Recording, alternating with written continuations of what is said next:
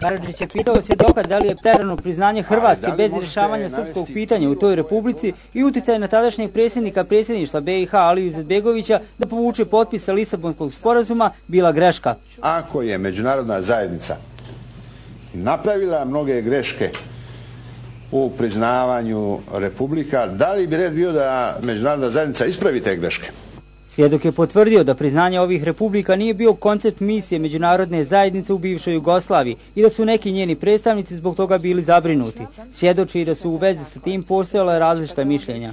Pa mislim da se često dešava da se lekcija nauči nakon onoga što se dogodilo. Ali to ne mijenja ono što se dogodilo. Optuženi tvrdi da je na mirovnim pregovorima nudio miroljubiva rješenja, a muslimani su na pregovore dolazili sa lošim namjerama, ubijali vojnike u Sarajevu i spremali se na totalni rat. Svjedok to osporava. Da li vi prihvatate da su Srbi pokazali dovoljno strpljenja i dovoljno volje za mir i da to nije prihvaćeno?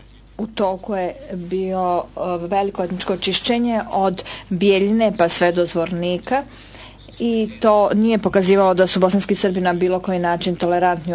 Suđenje će biti nastavljeno sutra. Karadžić je zahtjevao da mu se nakon ovog svjedoka suđenje odloži na mjesec dana kako bi se upoznao sa sadržajem bilježnica Ratka Mladića koje je tužilaštvo predložilo kao dodatni materijal